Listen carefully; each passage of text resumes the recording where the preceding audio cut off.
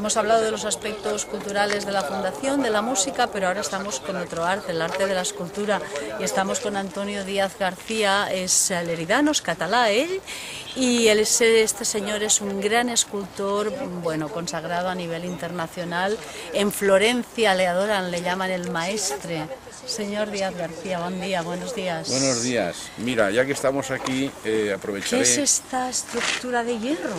Pues te comentaré. Aquí hay dos anécdotas que creo que son de importancia de, de hacer. Normalmente la escultura en hierro para que cree los tres volúmenes, siempre se crea la, escultura de afuera hacia adentro, siempre.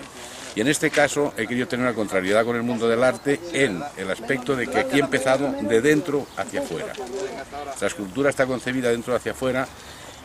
Las entrañas del sentido. Sí, son las entrañas del sentido. O sea, entonces la he querido hacer de dentro para afuera. ¿En qué sentido? En que si es una creación, es un nacimiento, es un nuevo ser, pues he creado este sistema. Esta, esta historia ha empezado así. Entonces también quiero comentar es una línea de mi obra de trabajo que le llamo yo obra tensada y atada. O sea, no tiene límites de medidas ni de nada. O sea, aquí esta pieza, pues bueno, pesa 5 toneladas.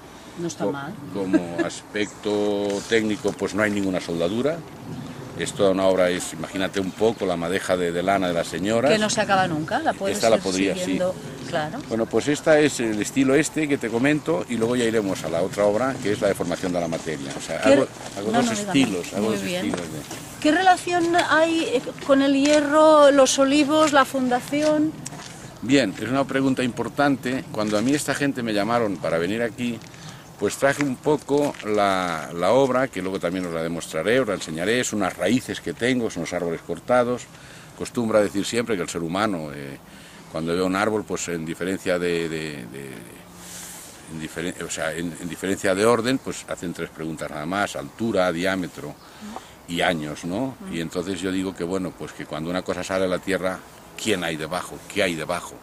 Y esas son las raíces del sentir, las entrañas del sentir pues ahí pues está pues gente científicos, gente pues que el mundo no los ve, pero que están y, entonces pues había un señor que ha cortado. Fue una época que tuve que me representaba pues como que yo era leñador y de ahí salieron los fajos que ahora te enseñaré, las raíces, árboles que tengo allí en la exposición y fue una época. Entonces consideré que era una época pues que decía mucho con el olivar. ¿eh?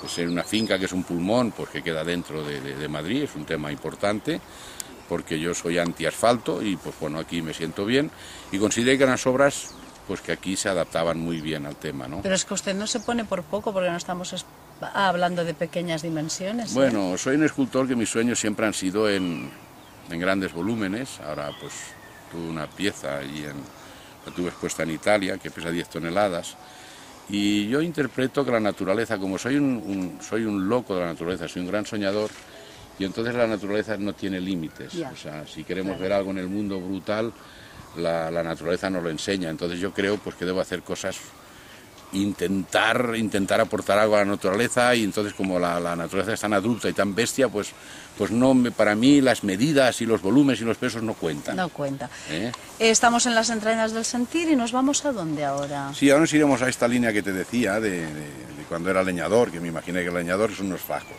Pues vamos a ver los fajos vamos a ver Los fajos.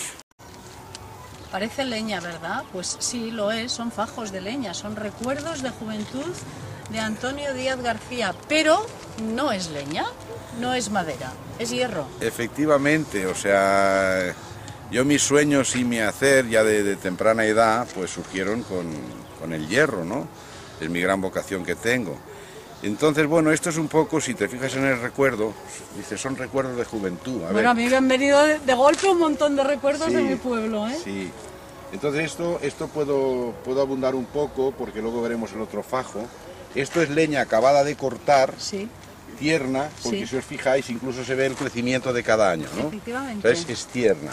Y entonces, pues bueno, cogí, un, cogí unos vímenes representa del campo y los até. O sea, es, un fajo de leña tierna. Un buen fajo, ¿eh? Sí, de juventud.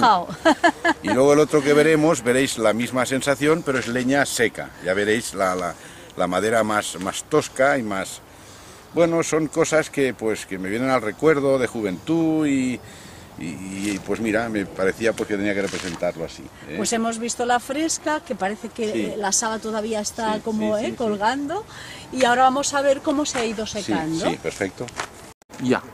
Antonio Díaz García, eh, hemos, no ha pasado mucho tiempo, pero la leña se ha secado. Estamos ya en la madurez. Efectivamente, qué razón tienes, ¿no?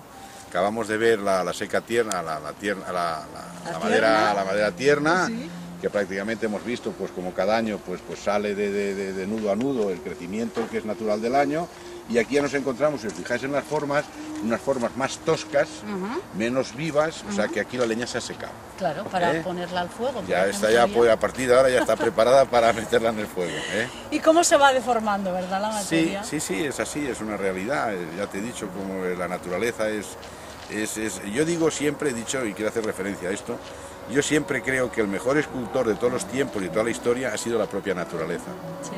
La propia naturaleza es la que moldea las formas con los desgastes, con el viento, con el frío. Con... o sea, entonces, claro, eh, yo no intento, no intento ni copiar la naturaleza ni nada, pero intento en, a lo largo de mi vida pues intentar aportar una milésima, milésima parte, aportarle algo, porque yo chupo mucho de ella. Claro. Entonces quisiera aportarle también algo, me veo como un ladrón de ella, ¿no? ¿Cuál es su próxima deformación? ¿Cuál es Pues su próximo objetivo? el propio, en la propia formación han, han presentado, están ahora montando unas, unas prensas muy importantes en el País Vasco, que es el taller donde trabajo, se llama Sí. Taller Silizar, Sí. y creo que deben tener la máquina casi, casi terminada para trabajar. Creo que será la única en el mundo de 10 millones de kilos, 10.000 toneladas. Y la gracia de esa prensa que será que trabajará en plano, cuando normalmente son prensas que trabajan invertidas. Cuando está bajando el pistón de arriba, están subiendo cuatro pisos. Espero estrenarla, ellos quieren que la estrene, y ahí sí quise hacer una pieza, pues... eh, Considerable. ¿eh? considerable. Ahí sí, ahí puedo, puedo hacer una escultura que cada taco, cada taco pues puede pesar bien bien sus 30 toneladas.